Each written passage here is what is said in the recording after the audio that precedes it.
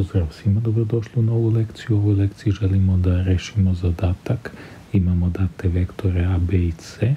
Potrebno je da odredimo vrednost parametra m, tako da zapremina prizme koja je konstruisana nad tim vektorima bude jednaka 7. Dakle, imamo zadata tri neka vektora, vektor a, vektor b i vektor c.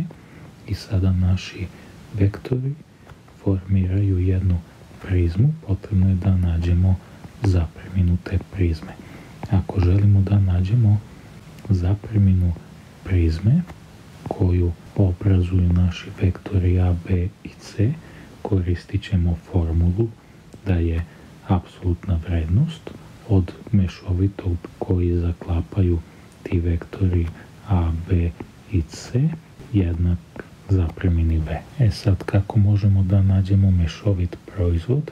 Mešovit proizvod možemo da nađemo tako što nađemo determinantu matrice gdje ćemo po redovima ubacivati te vektore. Dakle, u prvom redu ubacimo komponente vektora A, u drugom redu komponente vektora B, u trećem komponente vektora C i rešimo tu determinantu. Dakle, vektor A je minus 2m2, vektor b je 1m minus 1, 2, vektor c je m plus 2, 1 minus 3.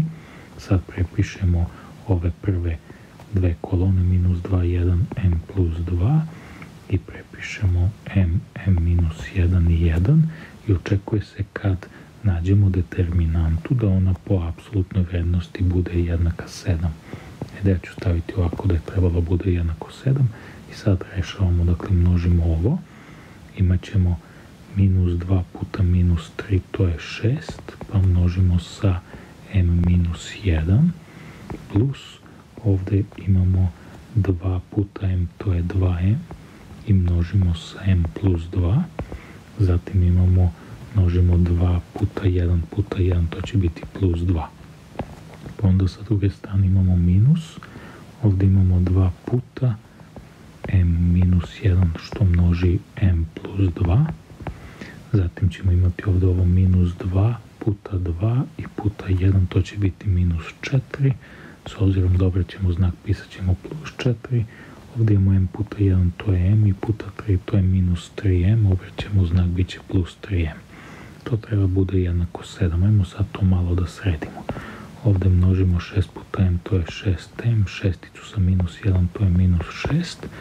Ovdje množimo sa 2m, ovu u zagradi, to će biti 2m na kvadrat plus 4m plus 2 minus, isto množimo sa dvojkom m i množimo minus 1, minus 2 puta m je minus 2m, minus 2 puta minus 1 je plus 2, pa sve to množimo sa m plus 2 i ovdje prepišemo plus 4 plus 3m. To je sada dalje jednako. Možemo polako i da krenemo da sređujemo. Ajde ovdje imam 2m na kvadrat, njega ću prepišem. Onda imam 4m i 6m, to je 10m. I ovdje 3m, to će biti plus 13m. Onda imam ovdje 4 i 2 je 6 i ovo minus 6, to se poništi.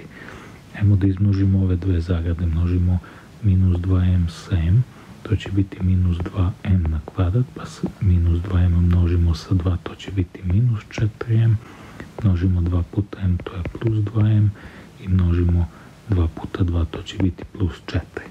To je dalje jednako, ovdje možemo da poništimo 2m na kvadrat i minus 2m na kvadrat, ostaće nam 13m minus 4 i plus 2, to je minus 2 m i plus 4.